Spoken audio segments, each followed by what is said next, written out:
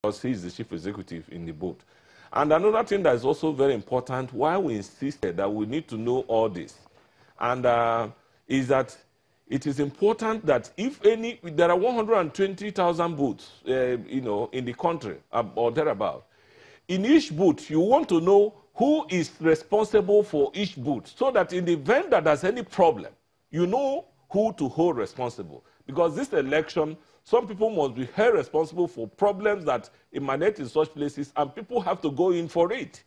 So it is not as usual, maybe the identity of the people, if you know. That's why they told policemen in those days to write their destiny. It is difficult for them to, to accept, uh, you know, speak uh, to this other matter. When they have Con their concerning collation of so, results. So if let me let me quickly get your response on this one.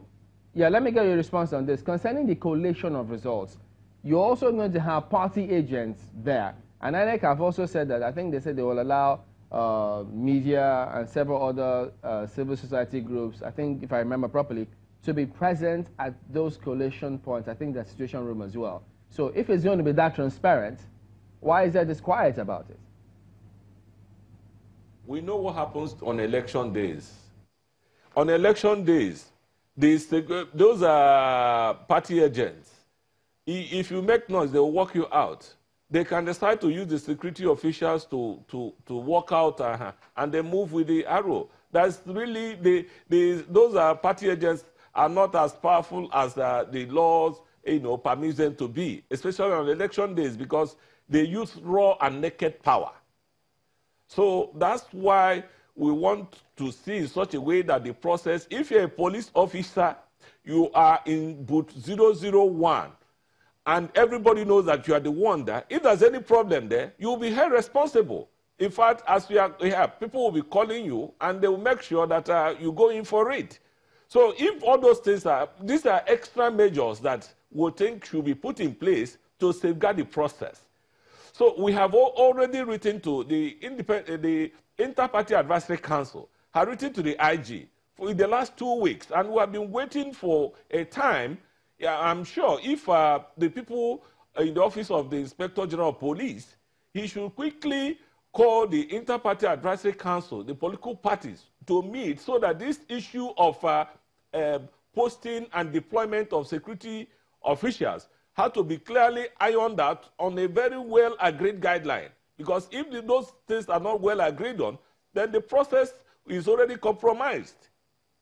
Up to, uh, to that, uh, let me get your views because this largely has to do with the um, uh, recruitment of uh, CEOs and ROs uh, to that effect of INEC trying to bring in this new innovation, which people see as new. But what then do you respond? What will be your own opinion to uh, the situation where people have complained that if INEC was transmitting el election results electronically at the collation center, then we wouldn't be having this discussion at all. Will you stand with such people who make this kind of declaration?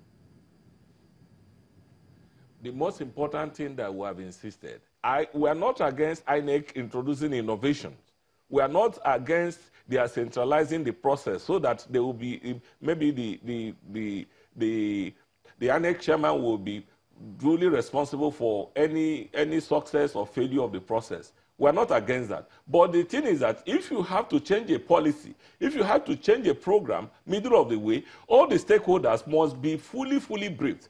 I don't know why it is impossible or is difficult for the INEC chairman to interface with, if it's difficult to interface with uh, the, the 91 political parties. That's why we have the Inter-Party Advisory Council, we have executive, we have the national chairman.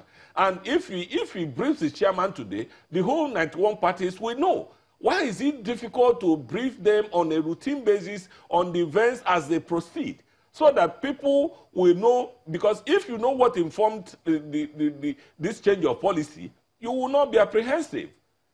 So the thing is that there has to be continuous. Uh, I expect that from now till the day of election, there has to be a daily, daily brief as to this is the process, this is the uh, step we want to take, and this is what informed why we want to take this step. And everybody will be. I can tell you, everybody is coming from a background of apprehension that this process is not going to be free and fair.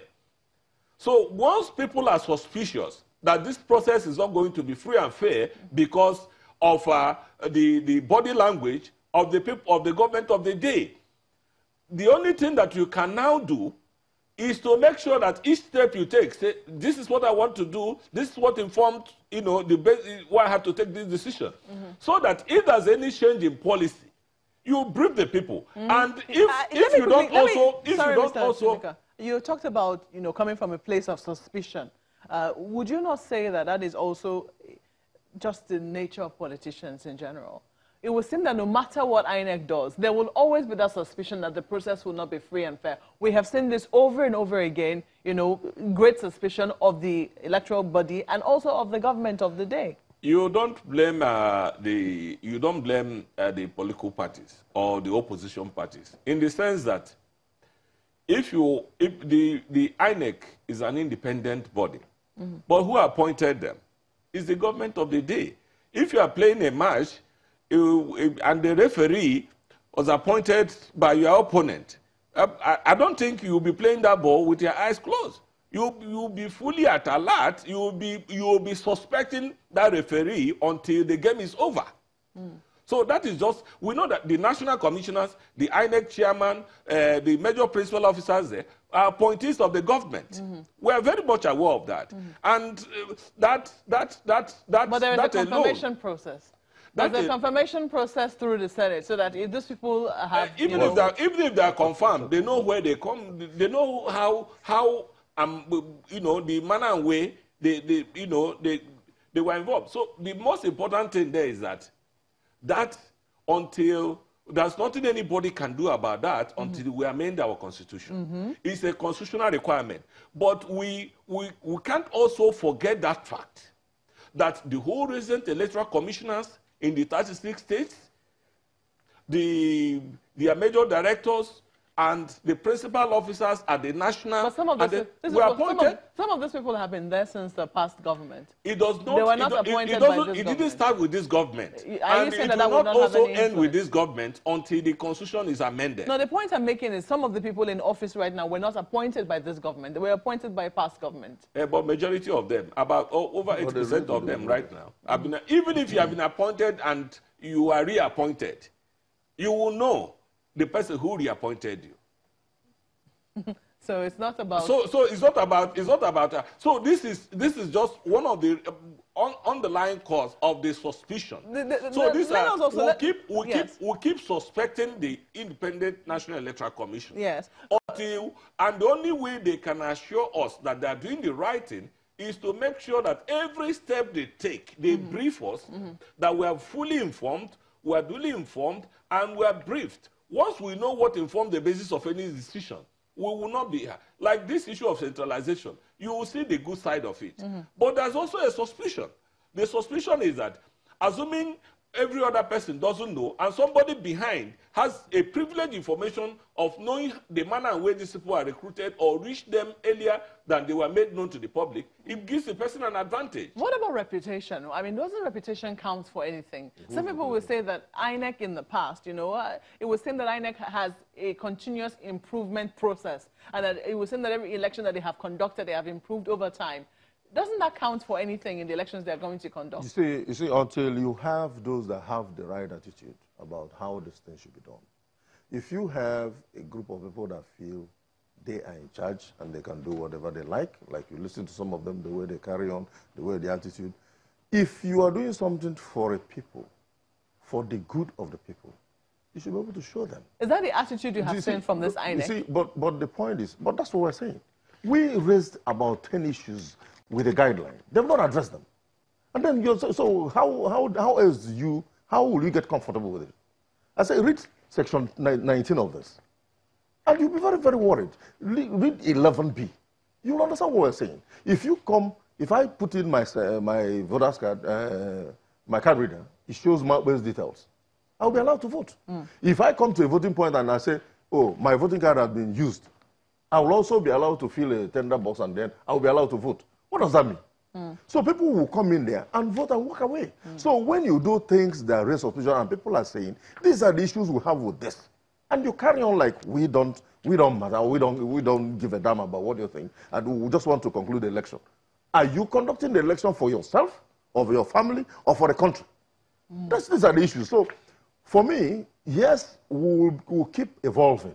The system will get better. We, we believe that. But run up to the election we're talking about, there are dangers that this document, okay, the manual they are talking about, we still haven't received it as political parties by now because this is guideline. And there's supposed to be an election manual. Mr. Okoye, we, don't we, have we that. really have to go now. Problem. I, am sorry, I'm, we've run out of time, but we have to thank uh, our guest in the studio, Mr. Jeff Ojinika, is the National Chairman, Coalition for Change, and also the Deputy President of the Interparty uh, Advisory. Advisory Chairman. Council. I heard you right on that one. And we also had in the studio Mr. Godson Okoye, who is the National Chairman, UDP, and also a former presidential candidate. Gentlemen, thank you for coming on Sunrise Daily. Thank you. Thank you. The program uh, continues shortly. Please stay with us.